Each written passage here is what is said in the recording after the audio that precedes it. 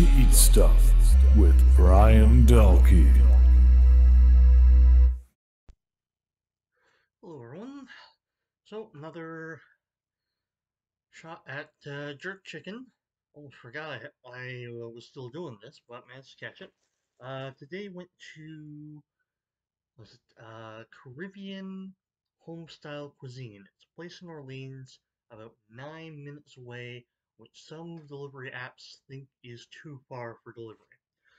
Uh, so I got the jerk chicken, and as a side, they had an option of mac and cheese, so I thought I'd try that. Well, this is interesting. Um, okay, so we have some kind of sauce without a lid. Interesting choice. Uh, looks like there's there's a fair bit of chicken there, so that's nice to see. Um, this looks more like lasagna than mac and cheese, so we'll see how that turns out. And then there's some kind of slaw and looks like plantain. I'm gonna give these this mac and cheese a, a try. I'm kind of scared now though with how this is presented.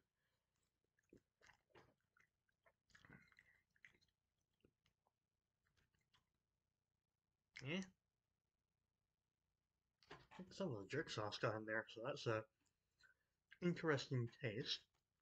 But as for the chicken, that is the primary concern.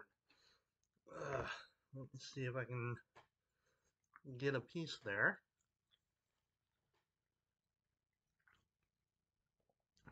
That's drier than the other places, but not horribly so.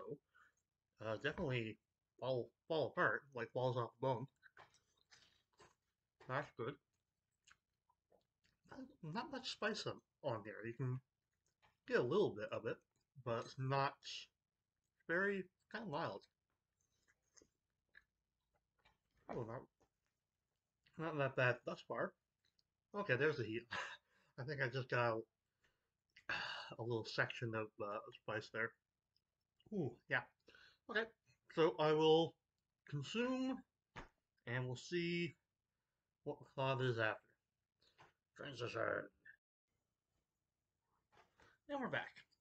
So, finished it up, and it actually wasn't too bad. The mac and cheese was wasn't great, but I ate most of it, so very edible. The uh, chicken itself, uh, the the first piece that was actually probably the driest bit. The rest of it wasn't that dry at all. Uh, it was pretty good.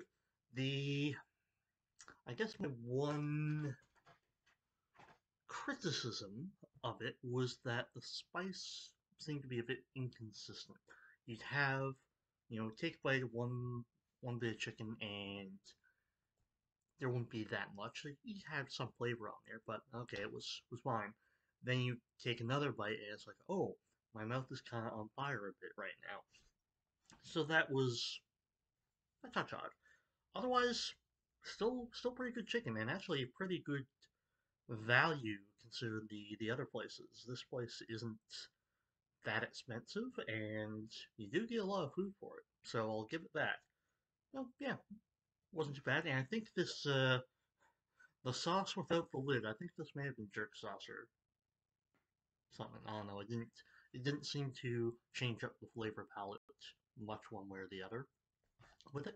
But it was still pretty, pretty not, pretty not too bad as I struggled to find words.